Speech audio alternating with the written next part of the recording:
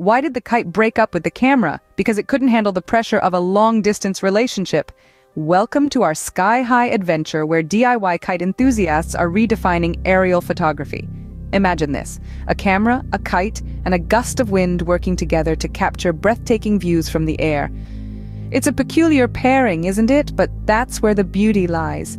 It's a trend that's soaring high, and we're here to explore it. Now, you've heard of bird's eye views, but have you ever seen a kite's eye view?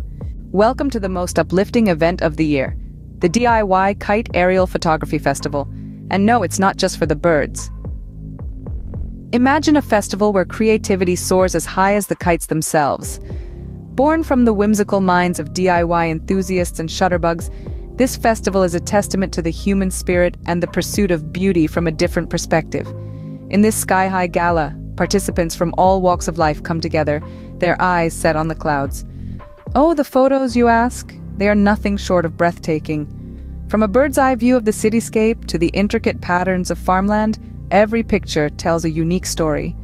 And let's not forget the comical tale of a kite that got tangled in a tree. Despite its predicament, the camera kept clicking, capturing a series of unexpected yet fascinating images of squirrel acrobatics and leafy canopies.